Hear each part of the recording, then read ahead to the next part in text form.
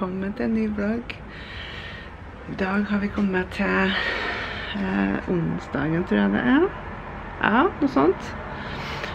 Det har jo vært ei urolig natt i natt. Skikkelig. ene dattera har hatt feber.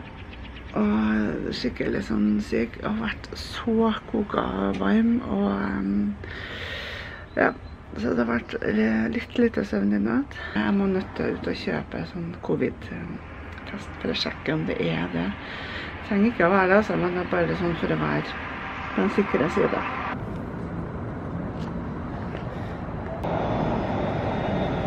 Da har jeg fått vært eh, inne på Shopping og shoppa det som jeg skulle, skulle shoppe. Jeg har jo så jækla vondt i magen sjøl. Det er sikkert noe som blærekaffe sånn nederst i magen. Og det er veldig sånn stikking, så jeg driver og sprinter på do hele tida. Har det jo vært eh, litt så kaldt ute, og så har det vært varmt, og så har det vært eh, Ja, så jeg har blitt litt sånn kald på fotene, tror jeg. Så noe er det, altså. Nå er det å vente på bussen. Den kommer om seks minutter. Så er det hjem og så på på den ene dattera tatt covid-test. Man får jo kjøpt sånne tester overalt. Så jeg tenker hvis man eh, er litt usikker, så tar man en sånn hovedtest.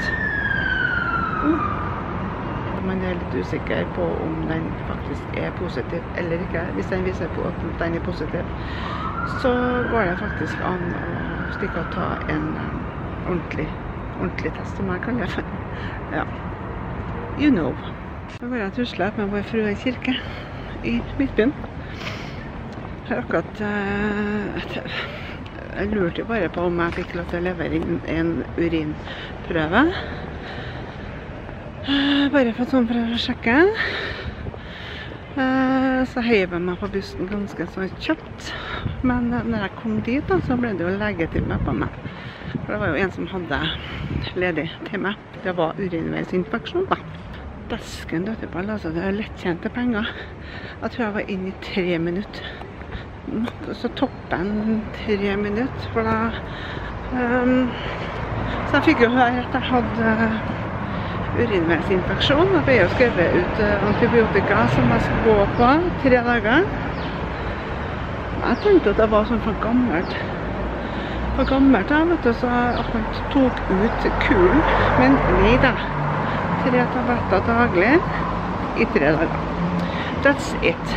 Nå må jeg se på en går, for jeg driver og snubler. Nå går jeg her.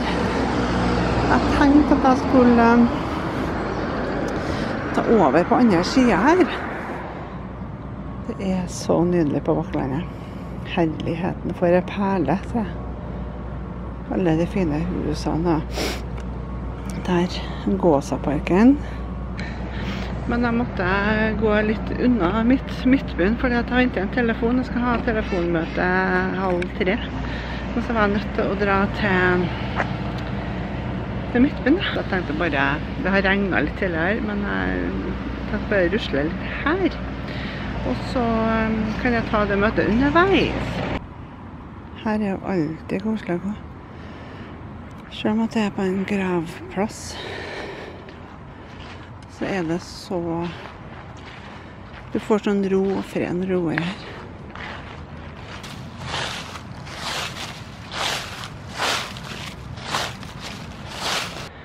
Der er Nidarosdomen.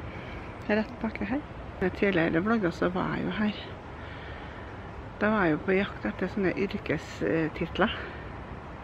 Og det er utrolig hvordan eh, de fikk liksom ha hvordan, altså Det kan man sikkert gjøre i dag òg, men um, det var Hvis man hadde en tittel, tror jeg, som betydde litt, som betydde noe at man var litt høy i rang, så kan det vel være at man fikk den på, på gravsteinen sin. da. Husk å abonnere da, på kanalen. Trykk på tommel opp og abonner.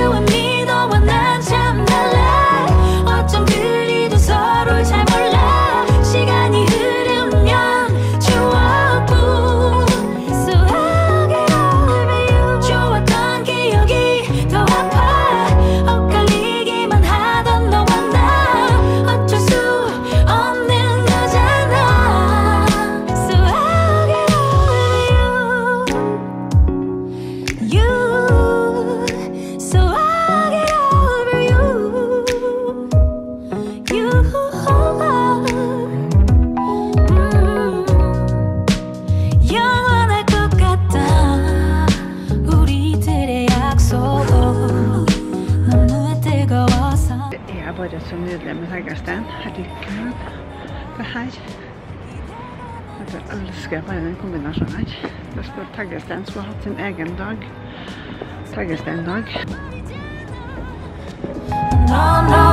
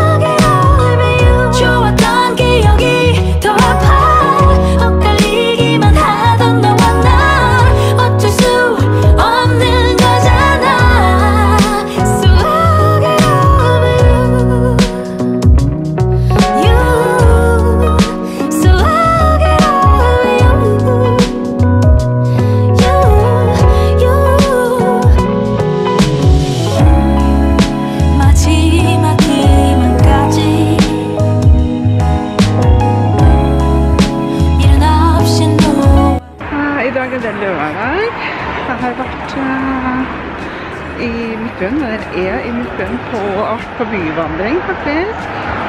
Hørt om da heksebrenning og litt sånn forskjellige ting.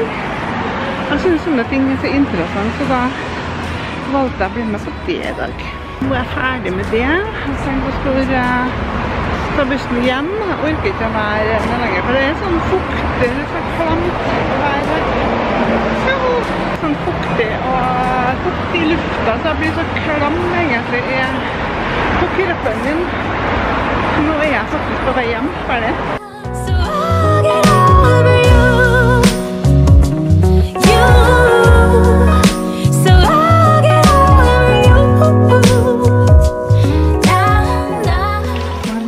søndag, og jeg skal um, koke meg litt kaffe. Og så er det bare rolig hjemme i dag. Jeg har akkurat um, laget meg vaffelrøre, og jeg er i ferd med å steke meg noen vafler, tenker jeg. Det er så er det en tung dag ute. Jeg tror vi har, jeg tror vi har en liten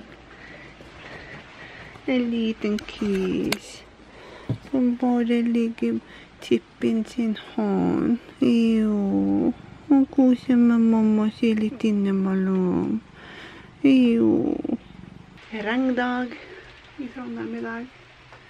Det regnes. Men eh, i går så var jeg en liten tur i sentrum. Jeg meldte meg på sånn byvandring. Jeg har litt lyst til å Og så er jeg interessert i historie, da. Så det var derfor at jeg gjorde det. Og det handla om eh, Ja, så det er utrolig interessant, syns jeg, da. Det er heksebrenning, hvordan man brente eh, folk. Før i tida ikke. Det høres ut Ja, jeg så gira liksom på heksebrenning.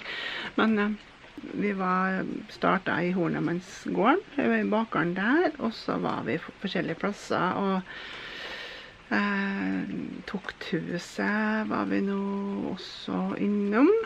Så vi gikk sånn, vandra litt sånn rundt omkring. Og så var det ei som sto og, eh, kjørte historie for oss, da. Vi var også innom Nidarosdomen på plassen ved siden av Nidarosdomen, der var vi også. Så vi vandra litt på byvandring, rett og slett, med historie. og Det er så interessant. Søndag i dag, og det er Åge-konsert. Det er gratis konsert på torget i kveld. Jeg krysser fingrene bare for at regnet gir seg. altså. Hvis ikke så tror jeg Åge gønner på uansett. De dagene her så er det, da skal vi gjøre helt ferdig den dokumentaren som jeg er med på. Da skal vi, ta, da skal vi sminkes igjen. Og så um, uh, skal vi gjøre ferdig. Jeg tror den blir helt ferdig da, i uka som kommer. Um, så det er masse som skjer uh, uka som kommer, så bare heng med. Og da er det veldig viktig at du abonnerer på kanalen. Det sier seg sjøl. Så kan du følge med på alt, så må du ja, abonnere. Men uansett, nå skal jeg inn og steke meg vafler og finne en serie å se på. Det er ikke noe Jeg orker bare ikke gå ut. litt sånn høstkald, trærne blåser litt, det regner litt sånn. Da er det lov til å sitte inne og finne seg noen program å se på, eller en serie som du følger med på. Men til så lenge så kos dere masse videre, så snakkes vi om ikke så veldig mange dager. Ha det! Husk å abonnere da, og trykke tommel opp.